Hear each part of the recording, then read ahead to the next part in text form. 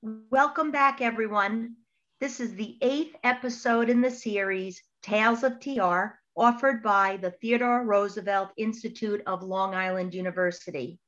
Our speaker is Tweed Roosevelt, the great grandson of the 26th President of the United States and chairman of the newly formed Roosevelt School, which opens in fall 2021 at Long Island University. Today's episode is titled TR the Making of a Leader. We invite you to watch previous episodes of our speaker series by visiting our website at roosevelt.liu.edu. During the presentation, please feel free to type in your questions in the Q&A at the bottom of your screen. Today's webinar also will, will be made available on our website within a few weeks. Now I would like to introduce my good friend and colleague, Professor Tweed Roosevelt. Thank you, Rita. And hello, everybody. It's great to see so many of you back and welcome to those of you who are new. so has been said, today's subject is TR, the making of a leader. Now, let me first tell you what this is not. Uh, it is not a how-to lecture, although you may find some useful information here that might become helpful to you. Uh, that's not, this is not about that. This is about how TR learned to become a leader, what he learned along the way. So I'm gonna delve in some depth into this very important part of his life. It's a very large subject, uh, and I can only give you a sketch. I will look at various points in his life where he faced a situation which taught him some valuable lessons that he could use as he shaped his leadership style. I will tell you a TR story and then explore what he learned and how he learned. I will only cover up to when he mustered out of the Rough Riders and started running for the, uh, for the uh, governor of New York. Uh, and of course, he learned more about leadership as governor and as president, but that, that will be a talk for another issue, another, another time perhaps. So uh, let's talk about leadership uh, briefly and as a concept. It's a huge issue and it's a fundamental issue to anybody who gets involved in, in dealing with other people. There are articles and books, they abound about this subject. Whole courses are taught it in places like uh, the Harvard Law School and many other places. There are even schools that focus on, in fact, the Roosevelt School at LIU uh, will spend, a lot of its focus will be on presidential leadership. And of course, there are many books written on the subject about TR's leadership. There's several of them, and some of them are quite good. So there's a lot to talk about here. Uh, now, what is leadership? The concept of leadership is really pretty easy to define, but it's hard to get your hands around. Uh, I'm going to use a very simple definition that works for me and for this talk. It's, it's similar to Dwight D. Eisenhower's uh, definition, and there's a man who knew a lot about leadership. It's very simple. Leadership is to get the ability to get other people to do what you want them to do. Uh, I think we can pretty much all agree on that as a definition. It's simple, but the devil, as they say, are in the details. So my first point here is that there is no best approach to leadership. Every person needs to develop their own style, which fits their own personality and the particular situation in which they find themselves. Uh, developing one's own style, it's a little like building a tower out of stones or perhaps several towers. As you go along in life, you come across a stone that might be useful for you in leadership. You look it over and you put it uh, in the in the stack that relates to a particular part of leadership skills. And as you go along, you keep building your little uh, uh, towers of leadership skills. Times you pick up a stone, add it. Sometimes you remove a stone. And eventually over your life, you have a whole edifice of how to go about this very uh, interesting part of your life. Uh, another point I want to emphasize, and uh, this is as important as uh, leadership style, uh, and this is that it's really, leadership style is one thing, but you've got to have the wisdom to know what you're leading towards, where you're going. Uh, after all, uh, superb leadership has uh, really, it's worse than useless if it leads in the wrong direction. Uh, if you're leading into the valley of death uh, of the light brigade, it doesn't matter how good your leadership is. So TR's ability to know where to lead, and he was right most of the time, it'll only be touched on here and could be the subject of another talk. So what I'm going to do is I'm going to tell you a number of stories that will illustrate lessons TR's learned. This will be nowhere near complete, but I think you'll get a pretty good idea of what he learned. So I want to talk, uh, start with TR as a boy. Uh, rather cute kid, I think. Uh, you, some of you who have been uh, with me in previous lectures may have seen this image, but I, what I want to focus on here is TR and asthma. Now, I've talked about this before, but to give you, for those who don't hadn't heard it, TR had asthma as a kid. Uh, back uh, in, when he was a kid, asthma was a very serious disease. Uh, the doctors had little idea of what caused it or what to do about it. Uh, and it was life threatening. People died of asthma. And TR had a pretty um, strong version of it, a pretty bad version of it. And he was pretty well decapacitated, incapacitated. His parents uh, were, of course, extremely worried. One of the things about this disease, it not only does it scare the, the child who has it, it's like drowning, he said once. I don't have asthma, so I don't know, but it's like drowning. You think you're going to drown at any moment. And it's terrifying to the parents who watch their little kid suffering through this and can do very little about it. Uh, even the doctors were terrified by this. And TR's situation really, uh, he overheard his parents one talking, talking about his disease and opining that he probably wouldn't live very long, which must have been a tough thing for TR do. Although when he referred to it later, it didn't seem to have a huge effect on him.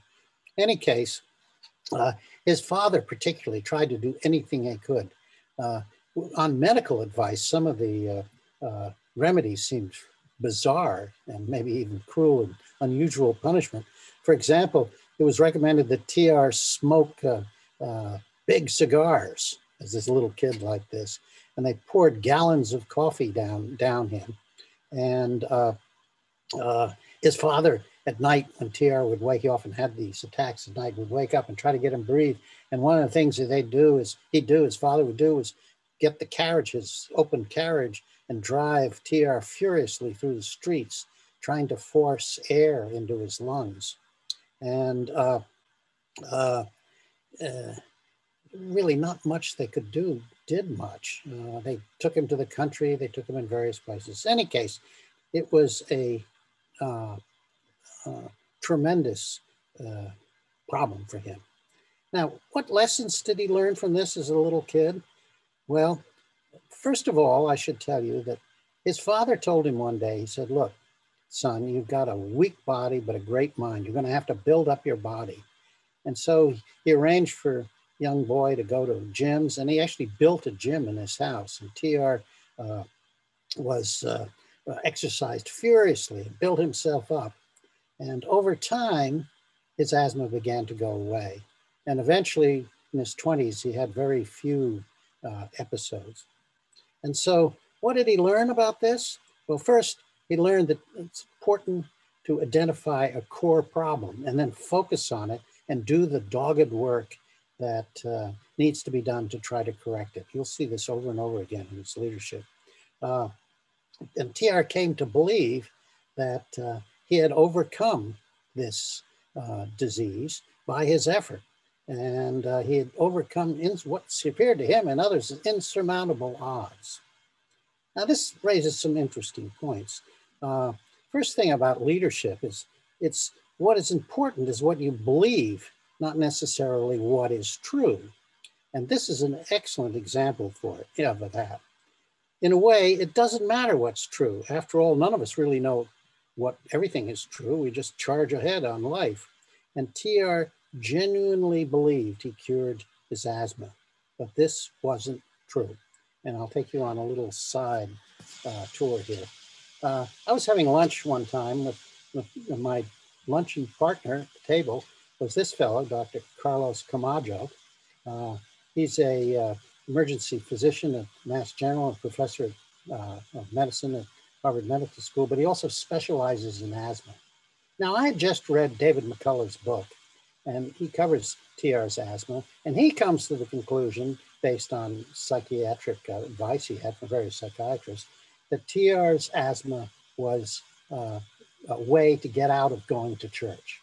Now, I just didn't believe that. I knew TR liked going to church. In, in his diaries as a kid, he talked about it. But anyway, I raised this issue with Carlos. And by the end of the lunch, we decided we'd do a research project into this. So he and I, we delved very carefully into all the records, the diaries, the letters, and everything, tried to chart every day, every time that TR had an attack, and then do statistical analysis. And we came up with there was no connection to Sunday and church. So we'd done that one. But the, another thing that Carlos said to me, which was even more important in a way, he said, you know, childhood asthma like this generally goes away by itself in late teen or early 20s. Uh, and I believe he's right. And so what that means is that no matter what TR did, uh, he probably still would have self-cured, so to speak. Uh, but he believed that it was his work that did it. And this shaped his whole life for the better, I think, after that. Uh, and he became a role model. Kids all around the country who were suffering from disabilities took his advice uh, and, and did what they could to overcome the problems. It was a tremendous uh, source of, for good. And it filled in him this idea that if we just do work hard and do our best, we can overcome anything.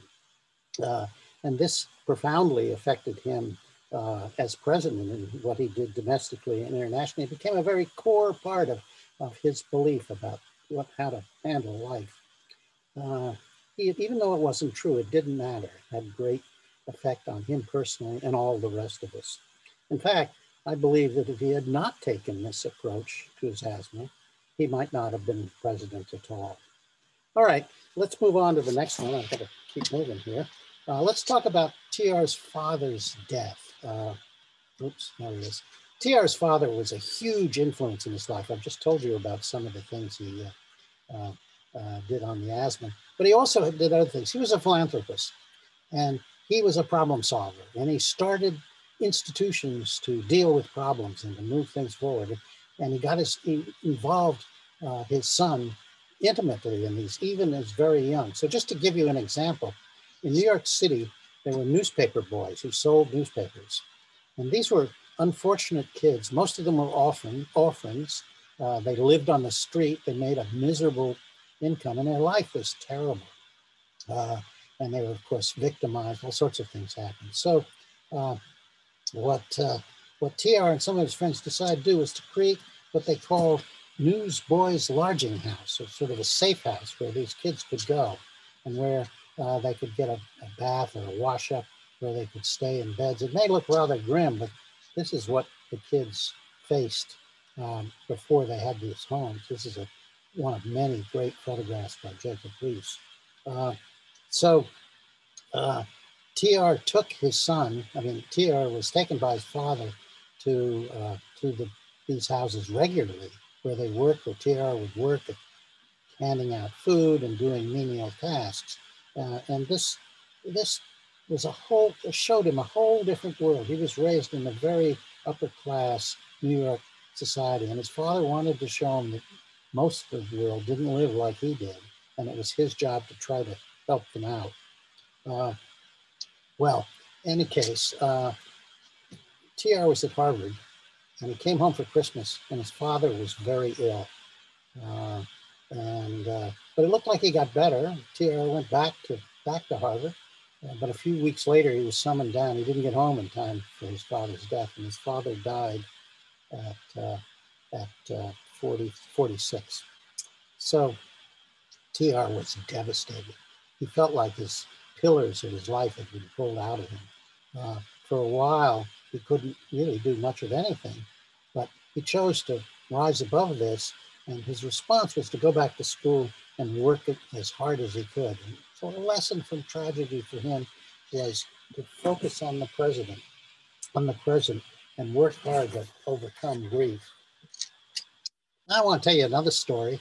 Uh, this is uh, uh, about a trip that TR took when he was about 13 years old to Moosehead Lake Maine. It's a simple story.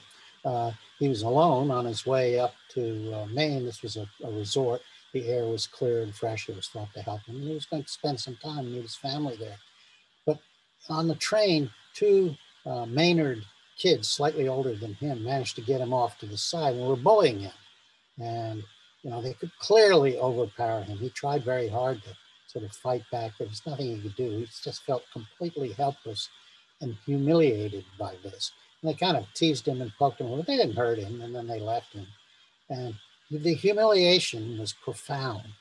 Uh, and he determined that he would not let this happen again, that he would uh, uh, do what he could to hone up his fighting skills and his, his, feeling that he was going to be able to deal with this kind of thing, first of all. Second of all, if he looked physically strong, he probably wouldn't be attacked like this.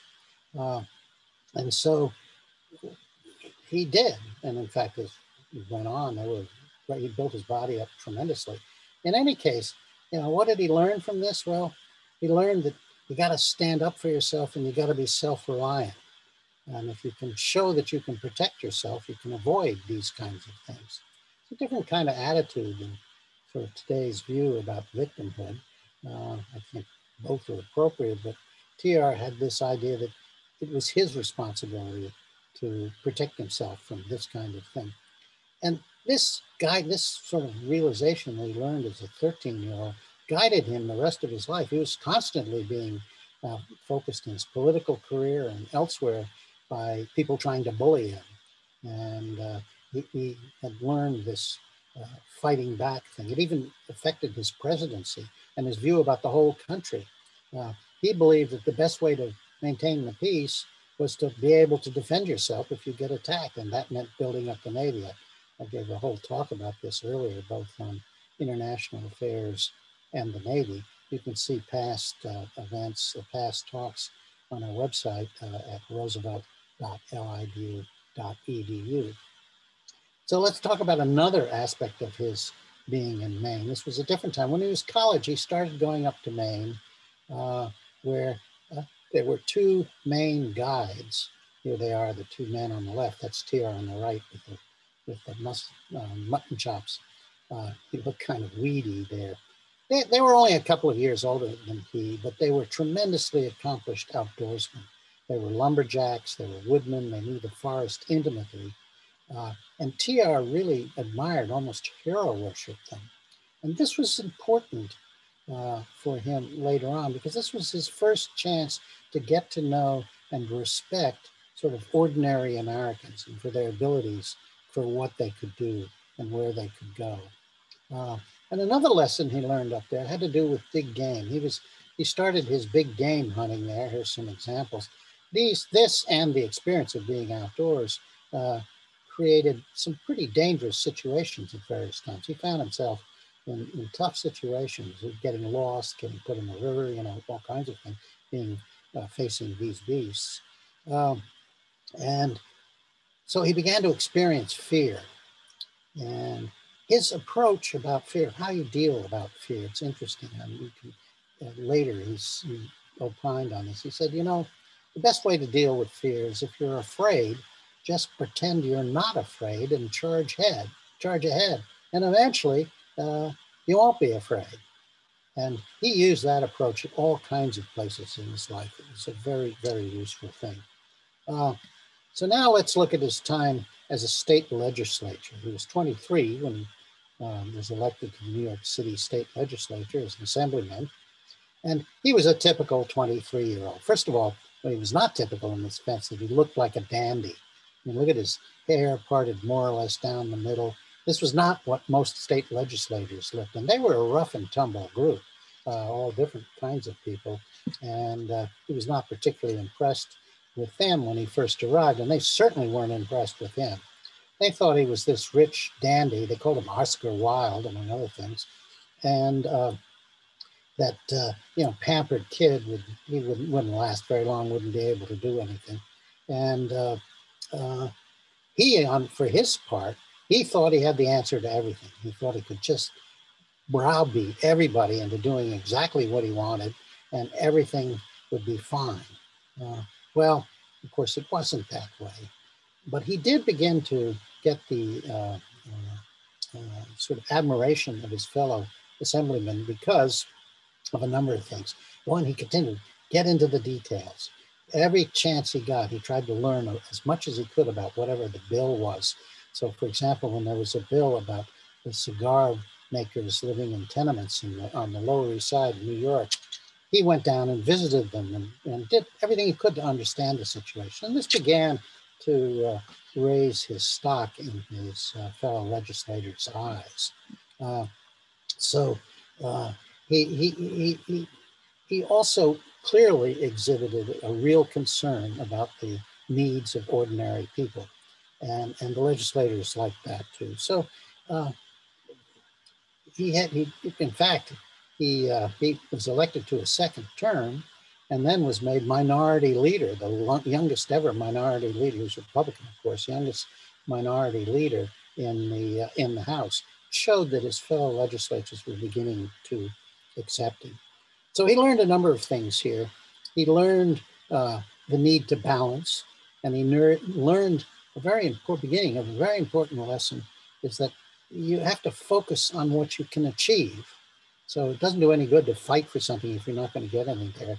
And be practical and be true to yourself, but you have to compromise to do things. And the biggest lesson, I think, was you can't do it alone. You need allies. And sometimes your allies come from unusual places. Uh, let's move on over. Yes, I should have shown you that before. That's the first cartoon ever done of TR. He's in the legislature and he's sort of driving out some of the bad guys. And he's dressed as a policeman, which was really interesting because, of course, later he became police commissioner, and we'll talk about that. Uh, I want to talk briefly about uh, his wife and mother's death. I've mentioned this, of course, in other talks. It's well known. He was a legislator at the time. He got uh, word that Alice, his wife, there on the left, had just given birth to their first child, and it was a little baby girl. And he was he decided that he would wait a little bit, finish what he had to do, and uh, for that week in in uh, Albany, and come down to New York. He then got a telegram telling him things had turned for the worse. To make a long story short, he got home just in time to be with his wife uh, and his mother. They were in the same house. Be with his wife when she died, and then a few hours later when his mother died. They both died in the same house on the same day, if you will believe it, on Valentine's Day. This, as you can imagine, was an enormous blow uh, to TR. Uh, it, it, the whole city saw this and went into mourning. This is just a short article. There are many articles in the newspapers. Even the New York State Legislature went into recess and some people came down. The funeral was a double funeral at the Fifth Avenue Presbyterian Church in New York. TR seemed almost, you know, non-compos mentis as he was in there. And then they buried them both uh, in Greenwood Cemetery in, uh, in Brooklyn.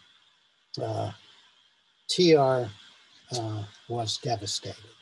This is all he could bring himself to write in his little diary. The light has gone out of my life. Friends of his were worried that maybe he was uh, going to commit suicide.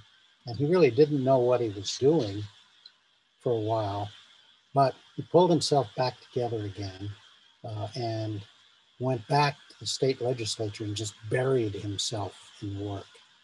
Uh, and, and, and then went out west, which I'll address in a minute. And he clearly learned some things from this, aside from the obvious of the impermanence of life. Uh, this idea of when you face situations like this, furious work helps. And look forward, don't look back. Uh, and so uh, he said uh, of his hard work on this subject, he said, uh, black care rarely follows the writer whose pace is fast enough.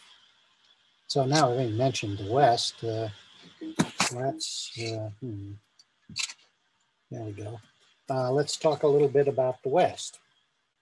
Here is how TR envisioned himself. This is a drawing taken from a photo he had done uh, in a studio in New York, I think it was. That's what he liked to think he looked like, but this is probably as the cowboys saw them. Now remember, TR owned a ranch. He was a rancher, not a cowboy. In other words, he was the boss, not the workers. The cowboys were the workers. But they took one look at this and didn't know what to make of it. Uh, here was this dude from the East, a skinny little kid uh, who liked to dress up in fancy dress. Uh, and worst of all, wore glasses. And if you wore glasses, it was a sign of moral turpitude.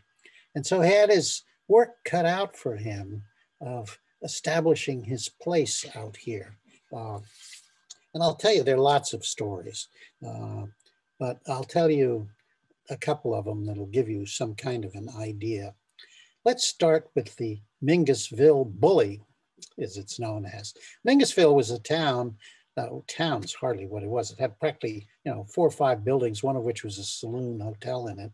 It was in the middle of the Montana prairie, about 30 miles from TR's ranch.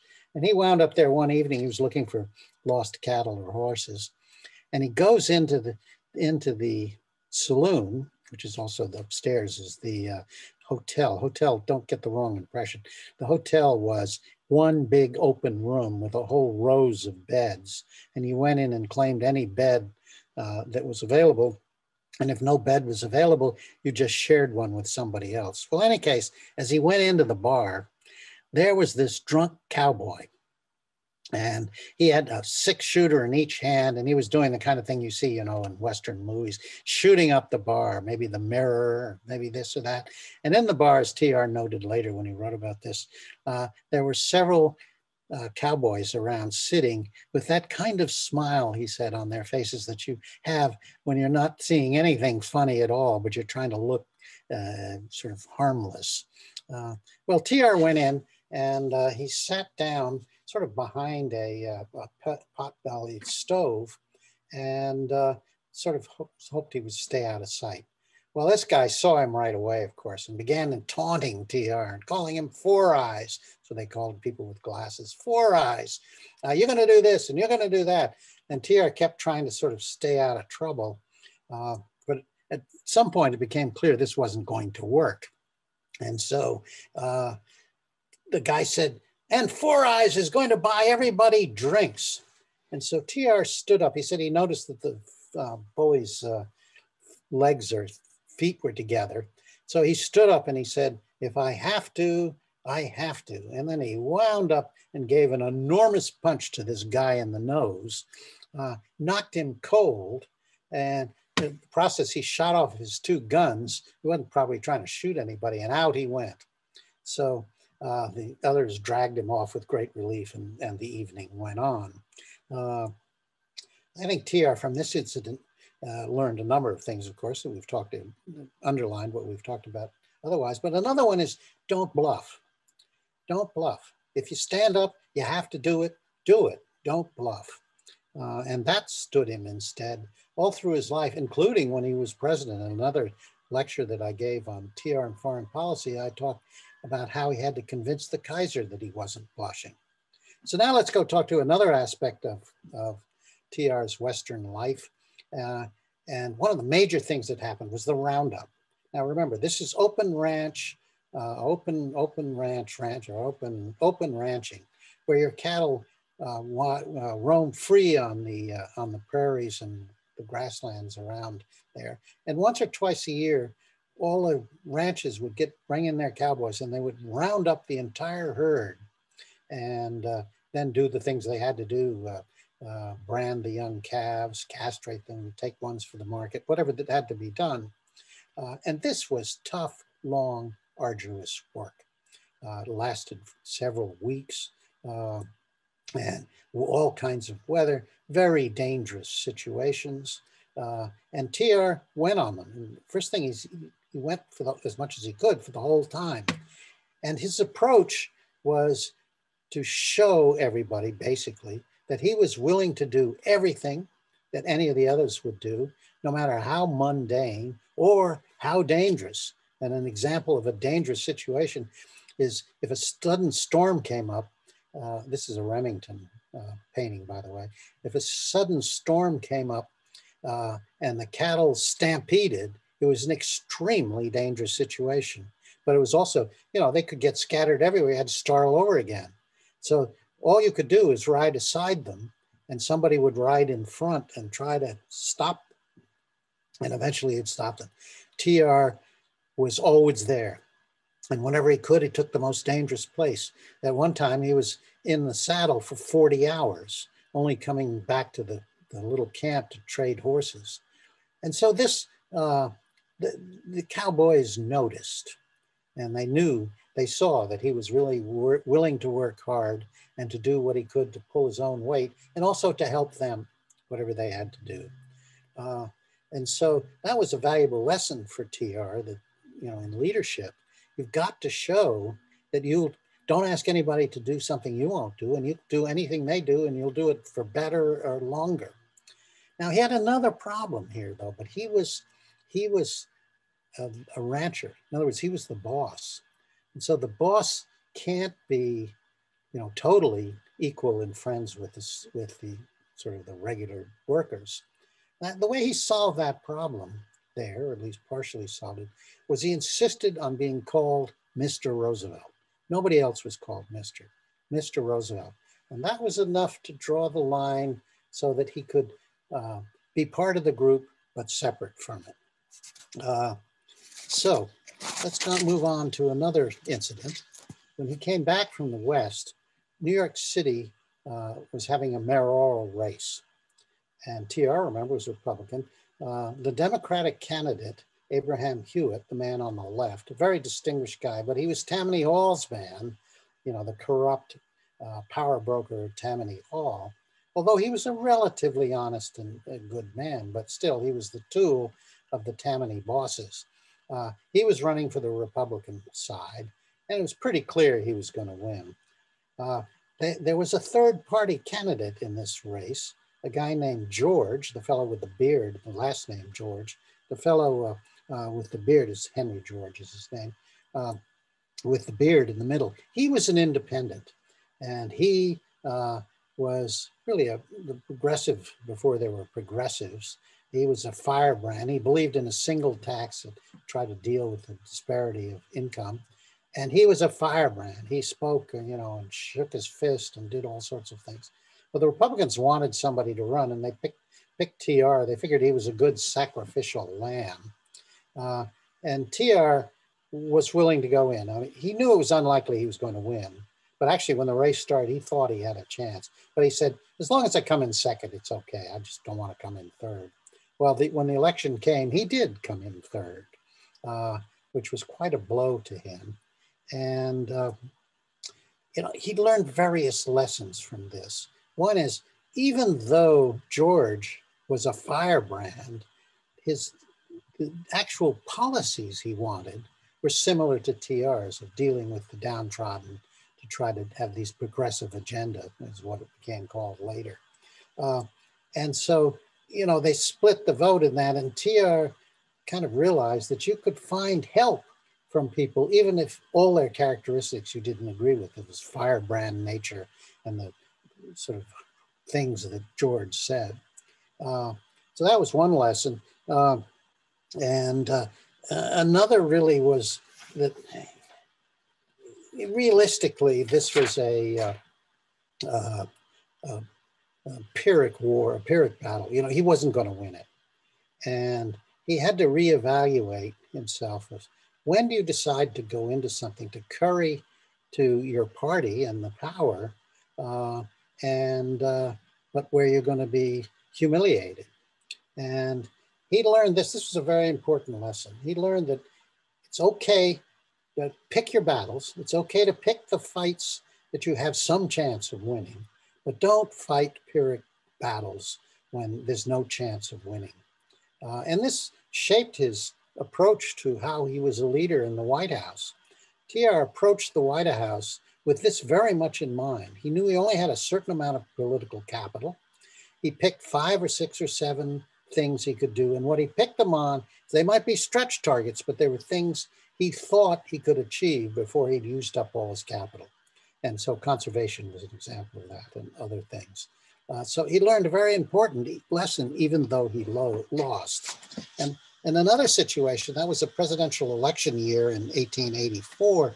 There was a fellow named Blaine from Maine. Blaine from Maine was running, uh, was was a candidate at the uh, Republican convention, and TR was went to the convention. Uh, this guy, he may look pretty good, but the press and the public had a very different view about him. Here are two cartoons. Uh, on the left, there is, uh, you can just see the shoes of the Democratic candidates standing on a terrific platform.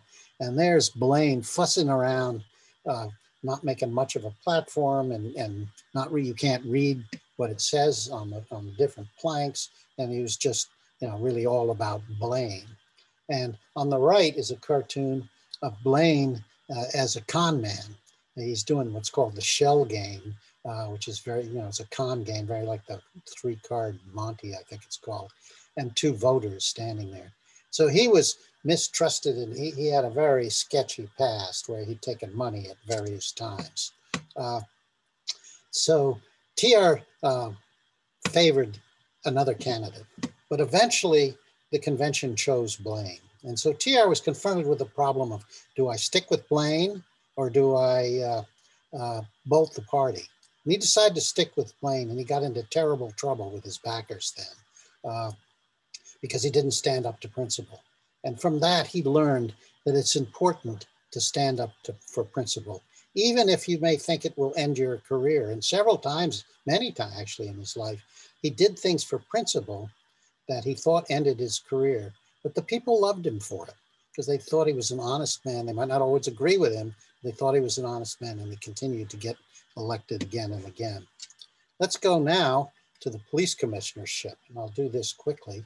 Uh, TR was police commissioner. He was he came into a very demoralized, unprofessional, corrupt police department. Uh, this is a cartoon of him coming in to clean up, clean it up. On the right is a police badge from the time of TR. I had some of those made for a uh, event I did. We all, everybody loved getting a sort of a replica. Any case, TR started out, he knew he had to deal with the problem of, these demoralized and basically corrupt patrolmen. And so he wanted to get them first. So he came in and what he would do is late at night, he would wander the streets. Here he is. This is from a, a graphic novel, an excellent graphic novel, this graphic. Anyway, and he would confront policemen on the beat who were doing something they shouldn't be doing, like sleeping here or in a bar, and insist they come to his office the next day. And a line of them would show up with knees shaking, and he would met out punishment. And it wasn't long before he got respect from the patrolman. And then he took on the officer, so to speak. This is a famous guy who's an inspector of an area called the Tenderloin, the worst section of New York. He was known as Clubber Williams. Uh, he, the clubber part obviously came from the police uh, baton. And he was a real believer in using the clubber. He once said, More justice comes out of a police baton than out of the Supreme Court. Uh, he was also corrupt. So TR took on people like this and got them in, either got them fired or got them in line. Uh, then he thought, looked at promotions there. And he wanted to promote because of merit, not political uh, connections or money. Before he came in, the way you got into the police department is you paid Tammany Hall a fairly stiff fee. And if you wanted to get promoted, you paid more fee. And certain groups were entirely uh, uh, kept out. And so this fellow's an interesting fellow. He's, uh, he's a, uh, he was an Italian American. He started out as a uh, uh, street sweeper. In those days, the police can, oh, took charge of street sweeping. His name was Giuseppe Petrosino, and he started out as a street sweeper. Through raw talent, he got appointed as a as a patrolman, but he was never going to get any further. But TR recognized uh, talent and promoted him, and he had a terrific career. Uh, and then TR got delved into the details. So uh, one of the things he did was uh, there was no sort of education for policemen, no police education. So he created the police academy, first police academy in the world. And that's what New York's police academy looks like today. Uh, in, in those days, police bought their own weapons and they got the cheapest malfunctioning one they could. He standardized the weapons with the Colt 38. Uh, he, uh, you couldn't communicate with policemen on the beat, so he established this uh, police uh, call box concept. It was the one of his time is on the left. This is a modern one on the right. And the way this worked was uh, uh, A, the citizens could call in on it, and B, police had to call in various times to tell their uh, bosses where they were. It was another way of controlling. He also created uh, the first mobile police force, which was bicycles, and it was an elite force, high, very high morale, and they still still exist today. Uh, so, what did he learn? Well, first, you have to change the culture of an organization starting at the top, and you had to know the details in and out. And you had to forget about prejudice and judge people individually, individually utilizing their talents. And uh, then finally, his failure one of the major things he wanted to do uh, was to uh, strangle the money, the, all this money that was going uh, to Tammany Hall. One of the major areas where bars were closed on Sunday by law, uh, but they could open if they paid Tammany Hall through the police. And TR wanted to strangle them off. And so he mounted a huge campaign to close the bars. Well, it failed. It was one of his failures. And uh, uh, the people just didn't like it, and uh, he, he lost that battle. Uh, what did he learn? He learned that if you're facing a situation, what you need in a political policy situation, what you need is the people behind you. And uh, he didn't get that in New York. He didn't explain to the people why he wanted to close the bars, and they didn't want to have their bars on Sunday. He didn't explain to them that all he had to do was change the law and he would be perfectly satisfied. So that was a major lesson for him later. Let's talk about his time as Secretary uh, of the under of Assistant Secretary of the Navy. He came in. His boss, the secretary, was this fellow uh, who uh, Long is his name. He uh, Secretary Long. He was a nice old guy, sort of at the end of his career. He's exactly what you see there, sort of at the end of his career. And TR wanted to change everything. He knew war was coming and he needed to prepare the Navy for the coming war with Spain. And sure enough, it did come. Uh, so what he would do it with Long, Long was not a particularly hard worker. He was happy to leave all the details to TR. He liked to go on long vacations and take days off, and TR would encourage him. Long would go up to Massachusetts in the summer for vacation. TR would write him letters telling him some of what he was doing. And uh, uh, saying you ought to stay, stay longer, stay longer, he'd say. Same thing would happen uh, on a day, you know, Long came into the office and then he'd go off in the afternoon to visit his corn doctor or whatever. And uh, TR would encourage him to do that because when Long was out of the office, TR was uh, the acting secretary and he could do things. So one of the things he did is try to get around him really capable people. Uh, this is Alfred Thayer Mahan, the great Navy strategist. He promoted and, and nurtured his career. Here is uh, Dewey at the time, Captain Dewey. TR discovered him. He was not by any means the highest level uh, Navy officer, but he really he knew this man had talent. And he knew this was the right man to send out to uh, the Asiatic fleet, which would uh, fight the Spanish uh, fleet in the Philippines if it came to war. And but the problem was that he wasn't near the top of the list. And in fact, there were other people above him on the list who had very good political support from uh, senators and, and even the president and, and from Secretary Long.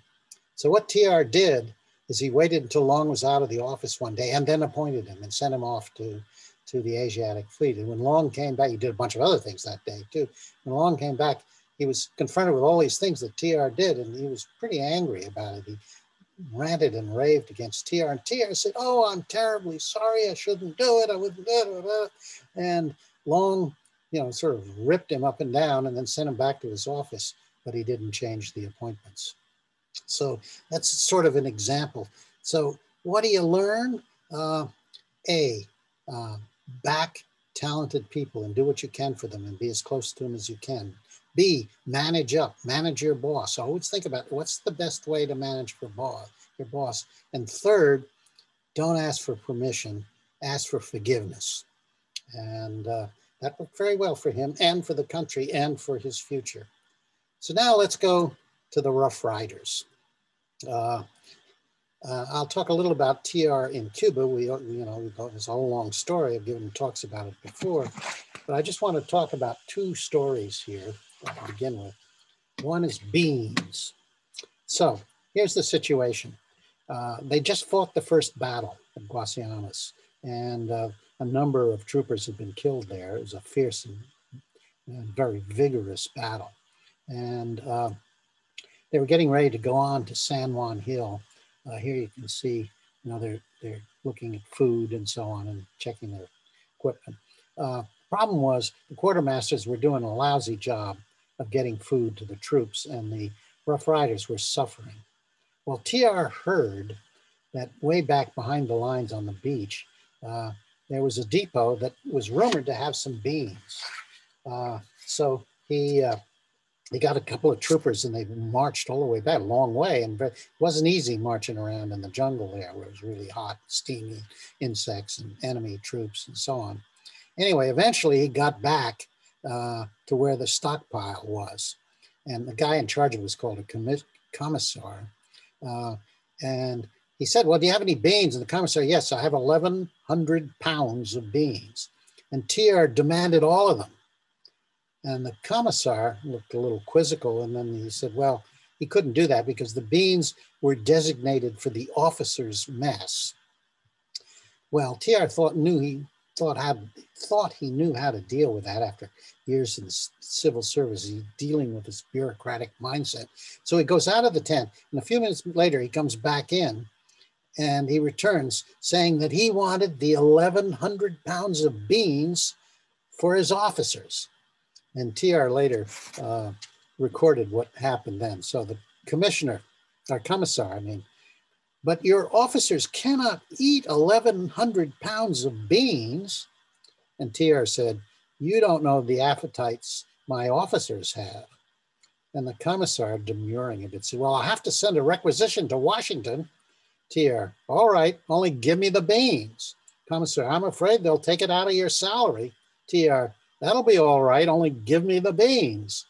So he got the beans, and the troopers helped him carry it back.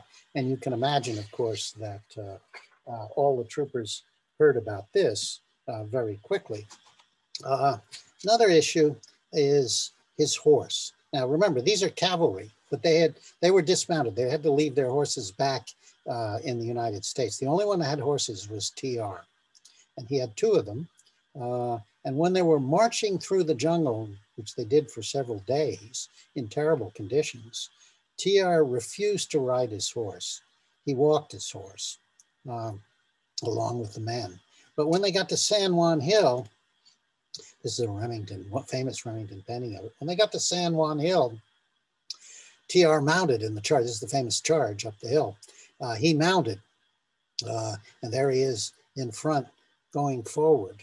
Uh, well, what, what, what can we say about this? What we can say is TR, by walking the horse, being with his men, showing them he would do whatever they did. Uh, and he only rode the horse when it's important symbolically, and in fact placed him in great danger because only the densest of uh, Cuban soldiers would know the first person to shoot is the guy on the horse. And of course, all the men knew that too. So he knew how to use uh, uh, uh, sort of the accoutrements of power in ways that just didn't make him feel good, but was part of his leadership style. Uh, so, and, and by the way, uh, you know, the general story is that he said, uh, uh, charge, you know, to go up the hill. But in fact, that's not what he said. He said what every soldier wants to hear from their senior officer. He said, follow me. So sort of in conclusion, I've, I've made a whole bunch of points here. I think you get some idea of how TR learned his leadership and how he used it. We could go on at some, at some length on this subject. Uh, but now I will close with another story. And this is a little different than, than the other story because it's not about how he learned the leadership, but it's really, I guess, uh, sort of the fruits of good leadership. Anyway, the war was over. The soldiers were uh, in uh, uh, taken back to Montauk, uh, Wikoff it was called, where they were in quarantine. And they were there uh, for, I don't know, several weeks, I think. And they were getting ready to muster out on this day. And TR uh, was in his tent uh, writing letters. And he knew in about an hour or so the muster outing ceremony, the end of the whole thing would happen. And he's in his tent and a couple of troopers come in and say to him, uh, would you step, no, sir, would you step outside? We want to say something. So he stepped outside of his tent and there was lined up the entire regiment, now maybe 800 of them left. And in front of them was this little table with a, something on it with a blanket on it. And uh, a trooper, trooper, not an officer, a trooper uh, stood up and started. Uh, he began a speech and the speech sort of choking up. He, he said that the troopers of the first voluntary cavalry wished to present their commanding officer with a very slight token of admiration, love, and esteem. And so Murphy struggled on, fighting back tears, as were many of the other troopers, retelling some of the reasons why they admired TR so much. He wound up, in conclusion, allow me to say that one and all, from the highest to the lowest, will carry back in their hearts a pleasant remembrance of your acts, for they have always been of the kindness.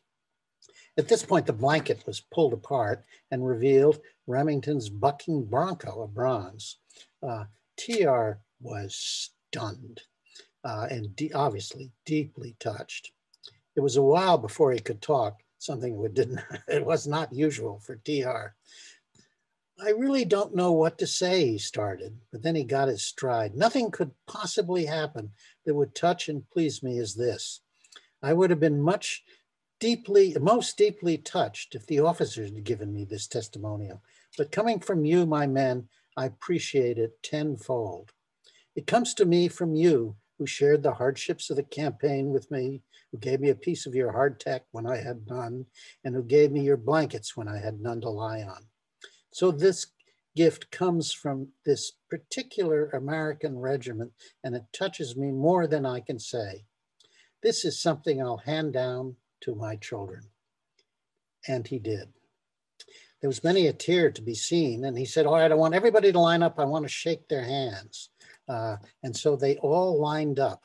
Uh, and by this time, he had learned the name of every single soldier in the unit, all thousand of them. And he shook each hand, called them by their name, told a little anecdote or tale uh, that he remembered about them. Uh, and they all mild marched by. Uh, in fact, um, they stood by him the rest of his life. They came to his, uh, when he was running for office and they provided honor guards and all sorts of things. And in fact, when he's in the White House, uh, been elected president, he was he instructed the doorman to immediately admit anyone who said he was a rough rider, no matter how disreputable looking. So he paid it back.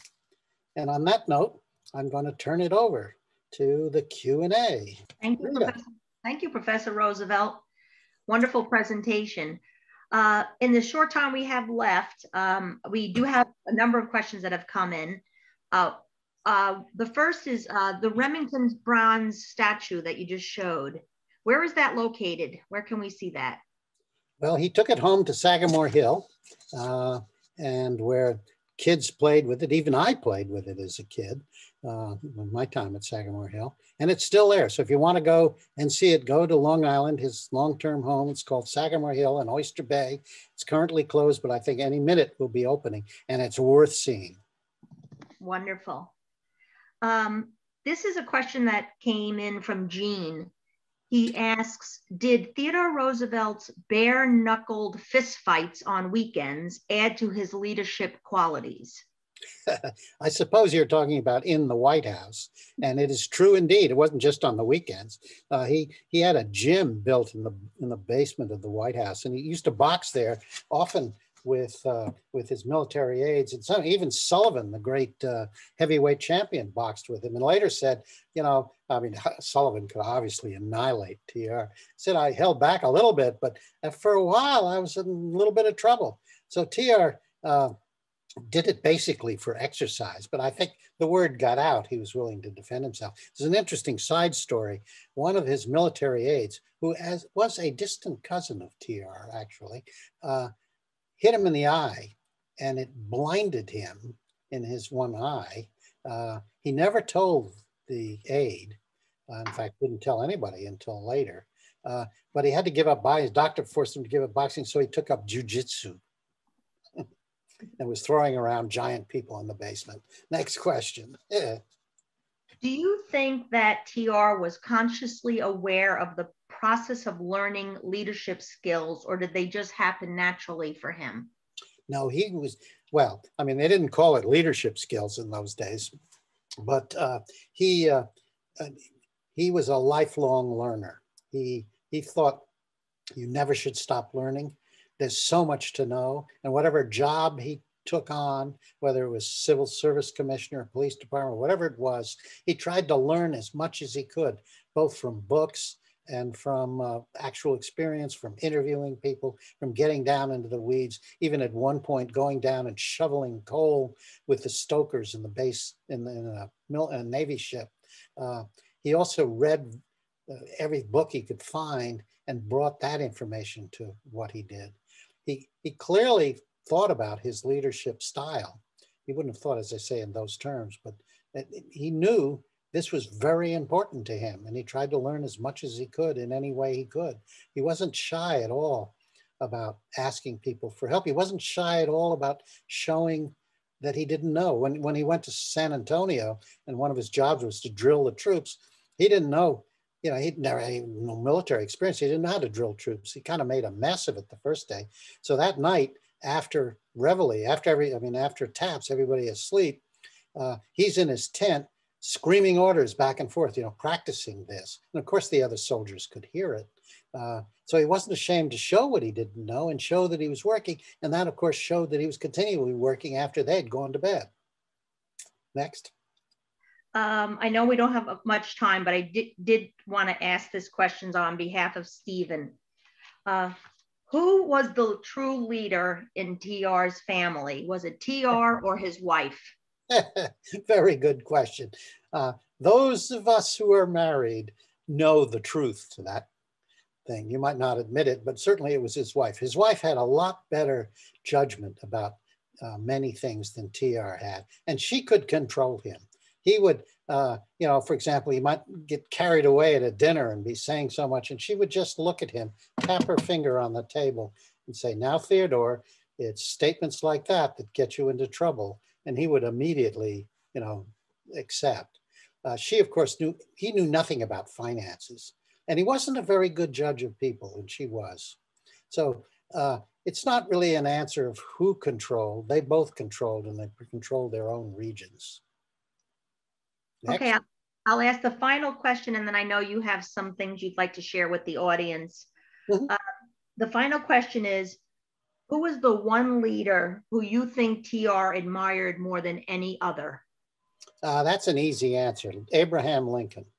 TR had tremendous admiration for Abraham Lincoln, studied all he could about him, and in some ways followed him. So, other than his father, who he thought was the greatest man he'd ever seen and the only man he ever feared. Uh, but as a leader, Abraham Lincoln was it. He thought that his leadership style uh, was fabulous. And he didn't model himself after him, but you know, he, he, he thought about him frequently. Both his father, he, when he was in the White House and had to make great decisions, he said, you know, I, I think about what my father do and I think about what Abraham Lincoln would do. So on that, let me just say a few final things before I let you all go. Uh, this is the last of the sessions for this academic year. We will start up again in the fall, uh, in September, with more Tales of TR. During the summer at the Hutton House lecture series, I'll be doing three sessions on the three Roosevelt, one each on the three Roosevelts, FDR, TR, and uh, Eleanor the Roosevelt as a Roosevelt school. The Roosevelt school's pillars are those three, and uh, they will be uh, focused primarily on the uh, controversies and failures of the two. It's essentially lessons learned is here, and so that will start. The first one will be on June 3rd, uh, at uh, which will be on TR. And you can go to liu.edu slash uh, Hutton, Hutton, H-U-T-T-O-N, and find out more about it. I hope you'll join us then.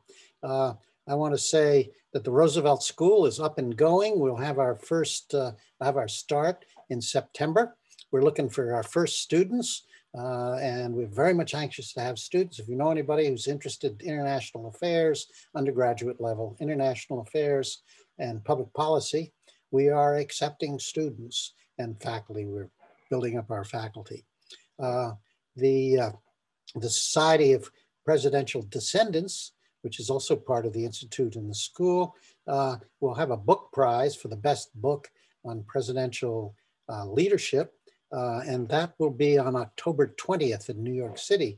And it's open to you all and hope you'll come.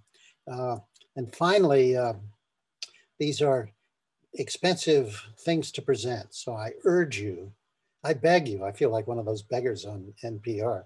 I beg you to go to uh, roosevelt.liu.edu, click the donate button and just give something. Anything will do. So I really thank you all for sticking with me here and I look forward to seeing you again in hopefully this summer on June 3rd and if not, uh, in the fall. So all have a good summer. And I think we're going to open up here and be able to go out and enjoy ourselves finally. So thank you and see you next time.